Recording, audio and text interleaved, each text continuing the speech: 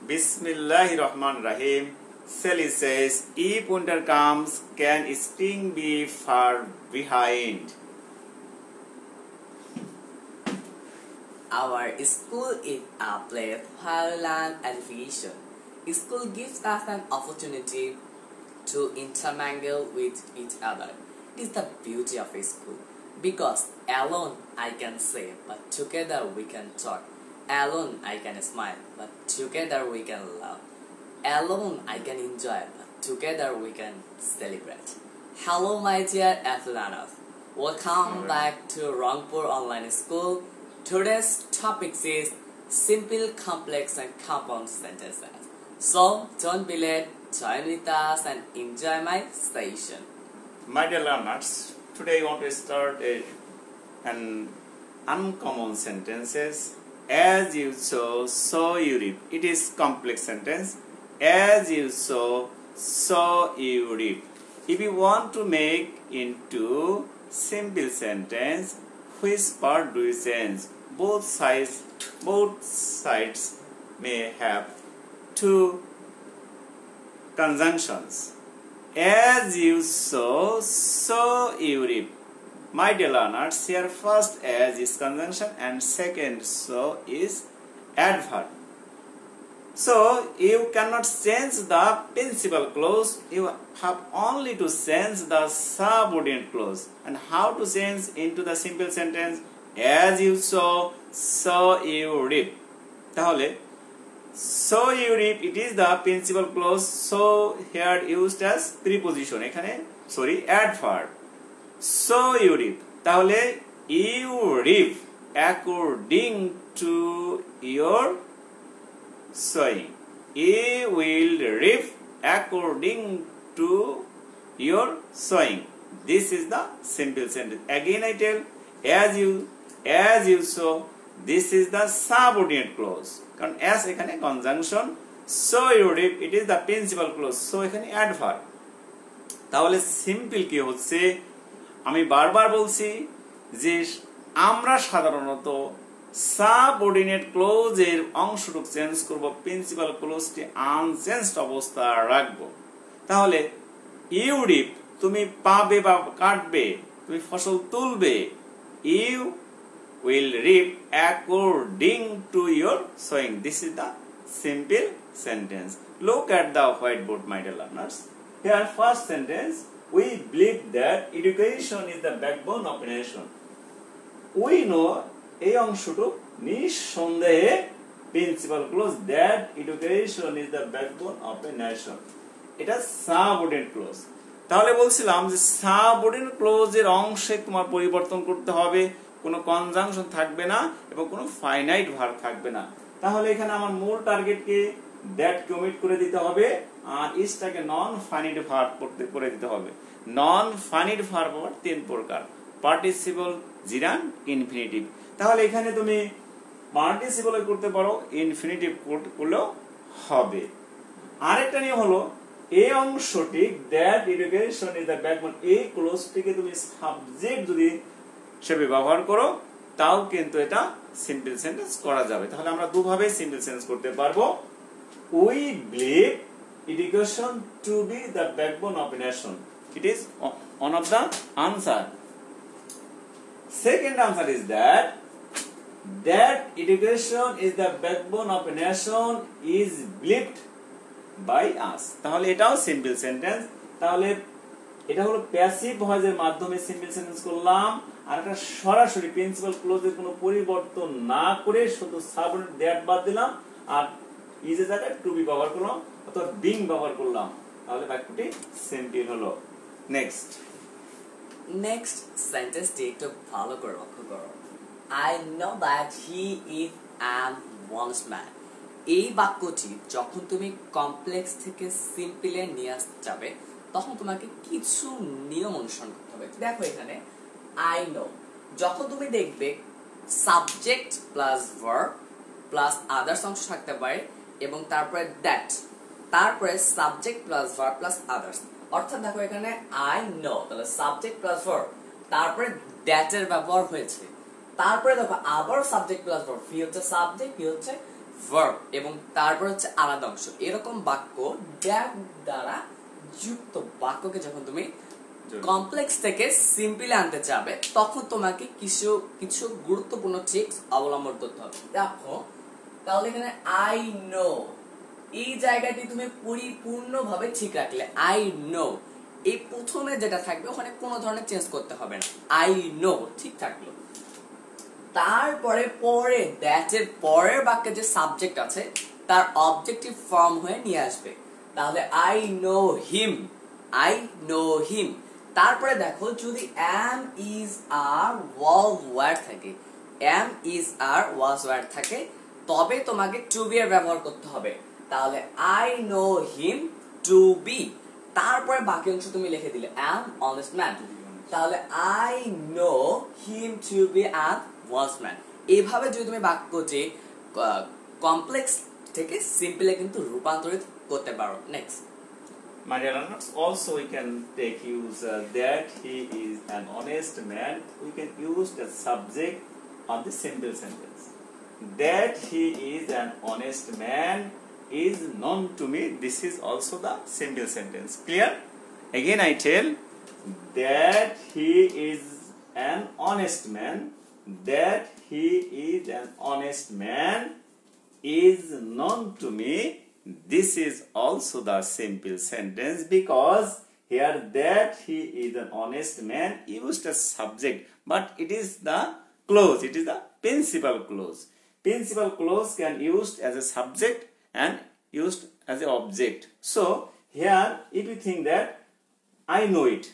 it used as object. So that he is an honest man is also object of this sentence. Object can be subject in passive voice, we know it. So that he is an honest man is known to me. This is another simple sentence. Both are right, my dear learners. Question number three. When our school is over, we go home. We go home. কি বলছিলাম when our school is over, we go home.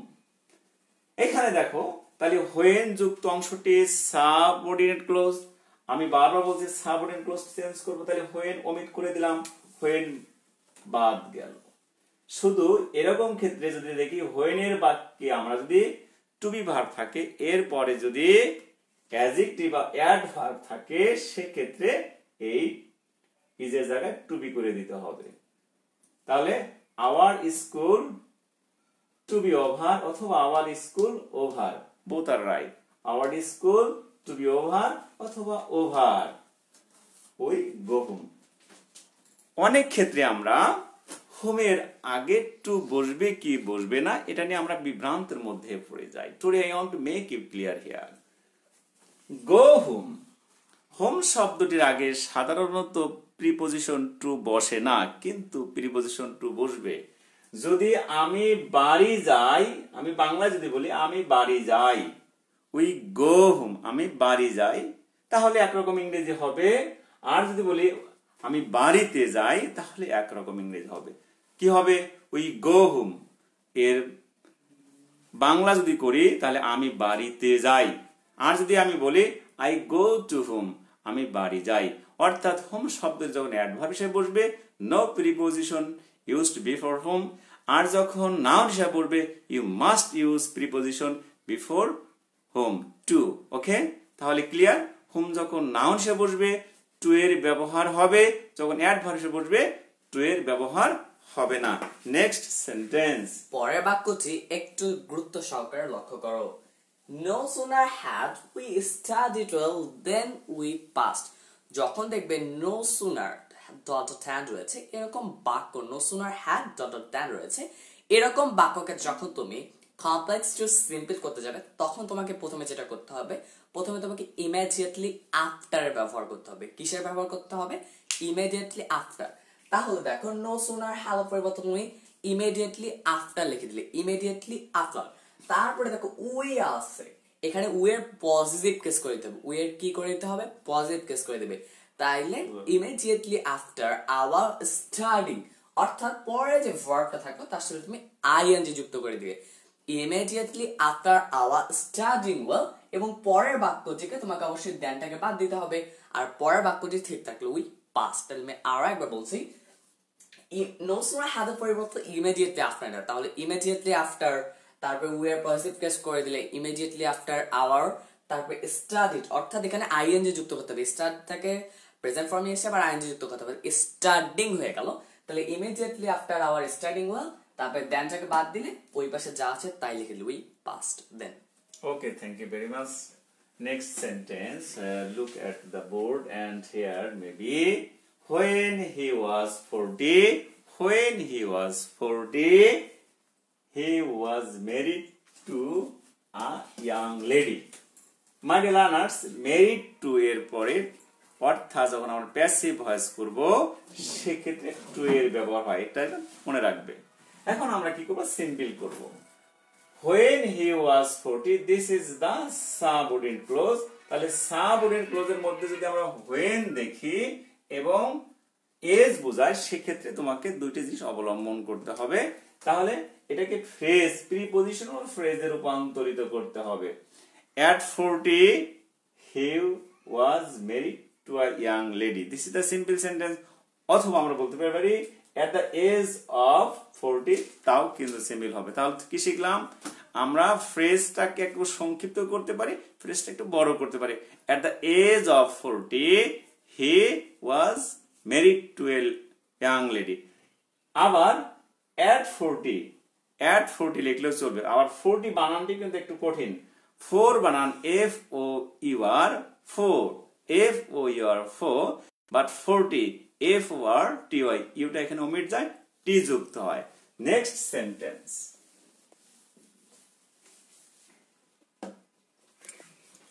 পরের বাক্যটি লক্ষ্য করো। As soon as I at rise I went to school এই বাক্যটিকে যখন তুমি কমপ্লেক্স থেকে সিম্পল করতে যাবে, এখানে তোমাকে মনে রাখতে হবে অ্যাজ সুন অ্যাজ এর পরিবর্তে just at the time of এর ব্যবহার করতে হবে।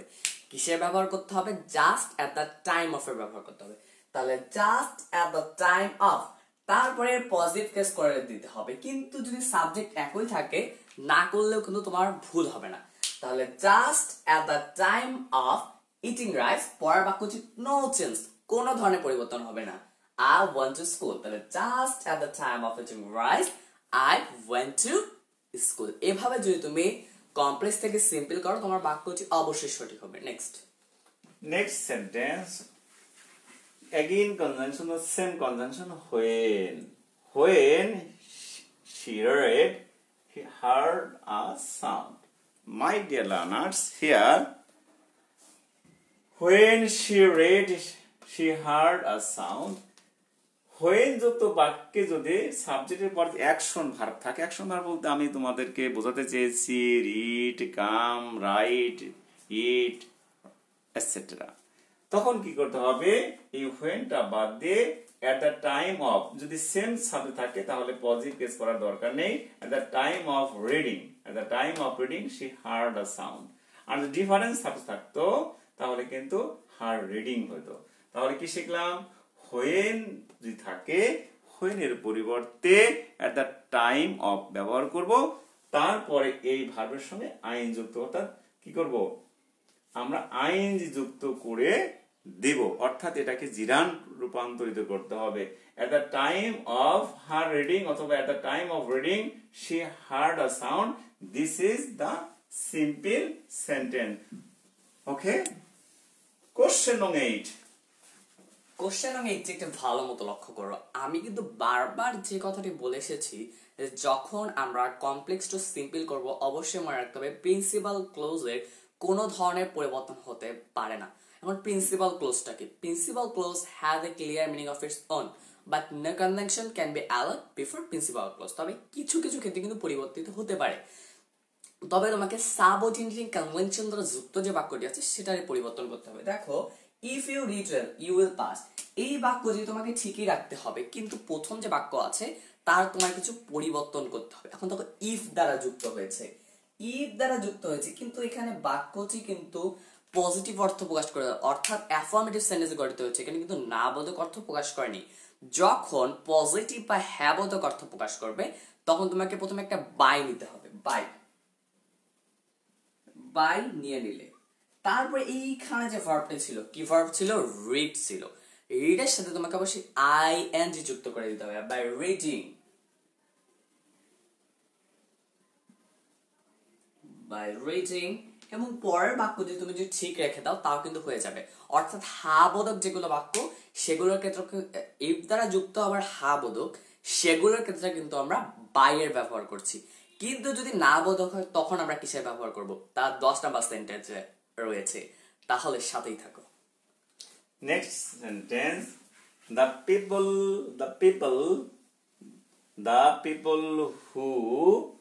Are working here are farmers if want to make it simple simple sentence পরিবর্তন ক্ষেত্রে কি কি পরিবর্তন করতে হবে?